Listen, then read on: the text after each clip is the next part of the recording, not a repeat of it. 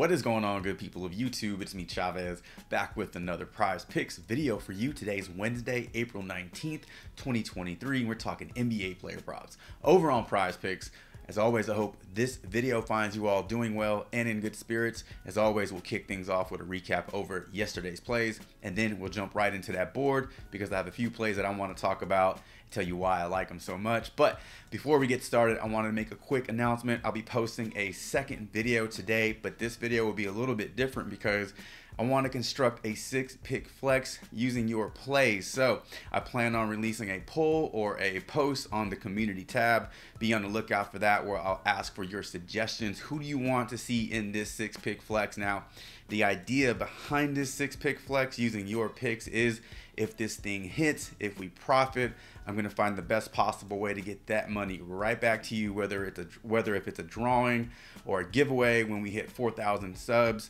I'll figure it out. But I want to try that out and let me know how you feel about that. Just wanted to give you all the heads up. Been trying to do something like this over the last couple weeks. Been trying to find the right time and uh, when when to post it, so I'm not doing overkill on these videos. And I think I think today is a good day for it. So if you like the way that sounds, I hope you do. Stick around, drop a like, maybe drop a sub, click the notification icon to get notified of all upcoming content and videos from me on my channel. And without further delay, Whew, let us jump into those plays from yesterday. All right, 3 1 on the day. We bounced back from a pretty bad Monday and frustrating Sunday.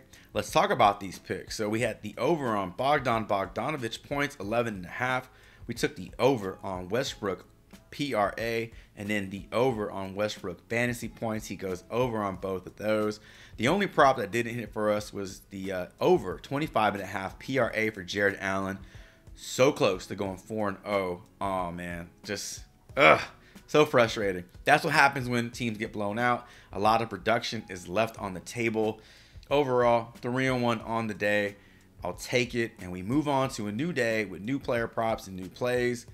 I got a few of them that I want to talk to you about. So let's transition on over to the prize picks board and we'll talk about it. All right, I got four player props for you today. Two coming from the same game, and they're going to be from the same team, but they're not the same player. Let's talk about some Miami Heat. Scrolling on down, I want to talk about Gabe Vincent points, and I want to talk about Max Strus rebounds. I like the over on both of these props. Let's head on over to props.cash, and I'll tell you why. All right, so just to preface this, both of these plays have everything to do with Tyler Herro not being available for the rest of the season, for the rest of the playoffs. So starting off with Gabe Vincent points set at nine and a half. I can totally see this getting bumped at some point. But right now, minus 125 to go over. We can see that he's gone over this three out of his last 10 games with Herro on the floor. Remember these averages 5.8 and 8.8. 5.8 and 8.8, okay? 5.8, 8.8, and 5 and 7 field goal attempts, okay? 5 and 7, 5 and 8. And this is with Herro on. Let's remove Herro from the from the equation. 19 and 16 from 5 and 8 and then 13 and 7. Incredible incredible increases, uh, incredible usage bump with Herro not on the floor. I mean, 80% hit rate for Gabe Vincent. I I don't think he gets us 20 points tomorrow. We don't need him to score 20 points tomorrow. We need him to score 10. But if we can take the median of like what was it? 8 points and 20, I mean, that's 12, 13. I think that's doable. I think that's uh attainable for Gabe Vincent tomorrow, especially if he's going to be getting 30 plus minutes and taking 13 or 12 shots in the game, you know, tripling his field goal attempts. Give me the over on Gabe Vincent. I don't think there's a lot of uh, deeper, like deep digging, deep diving that needs to go into this one. It's just going to be opportunity, opportunity, opportunity for him uh, without Herro on the floor. So, speaking of without a Herro on the floor and opportunities, Let's uh, head on over to Gabe Vincent's teammate Max Strus and talk about his rebound prop. Currently set at three and a half, minus 115 to go over under, so pretty much even right there. He's hit this rebound prop in three straight games, all three play-in playoff games, five, six, and five. Four out of his last ten with Herro on the floor. Now, without Herro on the floor, bumps up to six and five over his last five and ten games. Look at this production.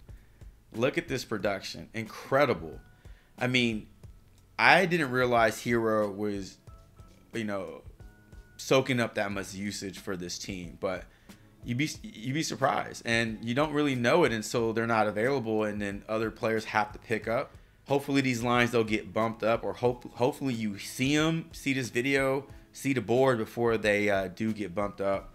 So give me the over on both Strus and Vincent points and rebounds. All right, third prop I want to talk about is a rebound prop. Karl-Anthony Towns sets at eight rebounds. Give me the over on this one. Let's head on over to props.cash and we'll talk about it. So props.cash has this set to eight and a half. We're gonna bump this down to eight. And we can see that he's pushed or gone over in nine out of his last 10 games. Three consecutive games of going over this though. And all three of those games were play in, play off games. So like the most important games of the year for him, he um, he showed up. 11, 11, and 10. Now, one thing that I I noticed when doing my research is the bigs, the backup bigs in Denver really aren't grabbing a lot of rebounds when Jokic sits. In fact, the combination of Christian Braun, DeAndre Jordan, and uh, Jeff Green in Game One combined for five total rebounds when Jokic was on the bench. Five. The problem with that is there's always at least one good big on the floor for for Minnesota. Either Towns or Gobert is on the floor, or both. So when Jokic sits, rebound opportunities go way down, you know, way down. Um, and that's because Gobert and Towns are gobbling them all up like Pac-Man, just gobbling everything up. So I look at this prop. It hasn't moved since game one. I like it, and he went over it already. Nothing changes here. I can see even see Minnesota keeping this game a little closer as we're seeing teams make adjustments from game one to game two like Atlanta came out and you know put up a good fight in the first half, had an 11 point lead. We saw Cleveland make adjustments; they blew out New York. You know, we saw adjust- adjustments made by the Suns. They came out and they kind of blew out the Clippers today. So I look for Minnesota to do something similar, keep this game closer, and the more time that Towns has on the floor, especially against backup bigs, the better. Uh, give me the over. Eight rebounds for Karl-Anthony Towns all day, every day. And that is uh, one, two, three props for you. I got one more player prop for you. We're going to head on over to the Grizzlies and Lakers game. I want to talk about an assist prop for Desmond Bane, Currently set at five. I like the over. I like the more on this one. Let's head back to props.cash and we'll talk about it. All right, props.cash currently has this line set to five and a half, but it's at five over on prize pick. So we can see that over his last 10 games, Bane has uh, gone over twice, pushed twice. So push gone over four out of his last 10 games, gone under in six games. Now, this is with Ja on the floor. If we take Ja Morant off the floor, we can see that it's roughly the same. So bring this down to five and we can see that Desmond Bane has gone over four times, and then he's pushed one time in games without Ja Morant, and then he's gone under in five games. So roughly the same, you know, the same output, which is good.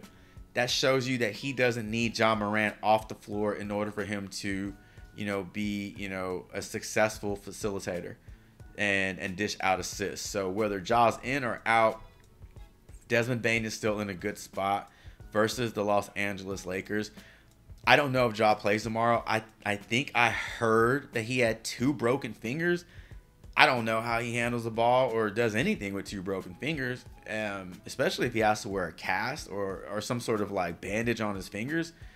Yeah, so I expect the ball to be in Bane's hands a lot more. It's going to be in Tyus Jones' hands a lot more. I see a lot of assists, majority of the assists coming out of those two guys. So yeah, give me the over. Desmond Bane, uh, five assists. This is just a good spot for him. Desmond Bane will be our fourth prop. And let's just quickly recap our four plays that we talked about in today's video. We got Gabe Vincent over points, Strus over rebounds, Towns over rebounds, and Desmond Bane over five assists. And ladies and gentlemen, that is going to do it for today's video. Thank you all so much for stopping by the channel, checking this video out. Drop a comment below. Let me know who you like on the board. Also, what do you think about these four plays that we talked about in today's video? And as always, thank you all so much for the continued support. The likes, the subs, and the comments helps this channel get a bit bigger every single day. Be on the lookout for video number two, where I am looking to build a six pick flex with your picks, your suggestions, and like I mentioned, looking for the best way to get that money back to you. Should that slip, make profit, maybe a giveaway, something cool to do on uh, something cool to do when we reach 4,000 subs. So stay tuned for more information about that. Best of luck to you all tonight, especially if you tail any of these plays. And until tomorrow's prize picks video, Chavez is